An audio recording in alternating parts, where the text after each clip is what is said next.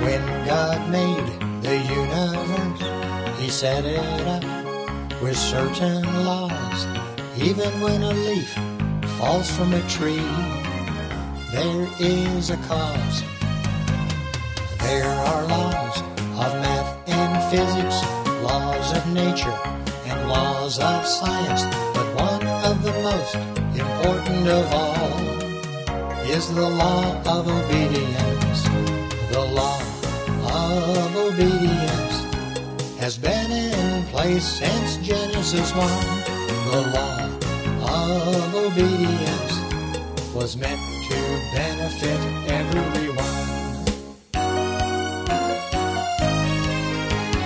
What this law simply says is when we steadily obey God, blessings will follow us around like a tail follows a dog.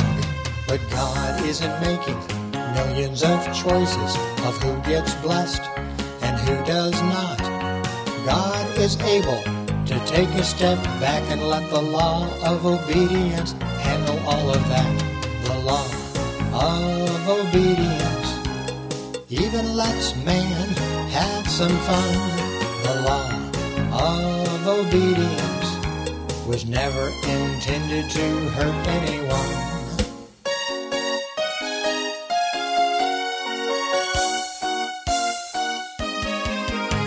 So when we read of Israel's sin and all the punishment that they saw, they were really just hurting themselves by butting their heads against this law. But this was not what God had wanted. His goal was not to punish sin. He meant for man to love this law and encouraged man to make it work for him. The law of obedience has been in place since Genesis 1.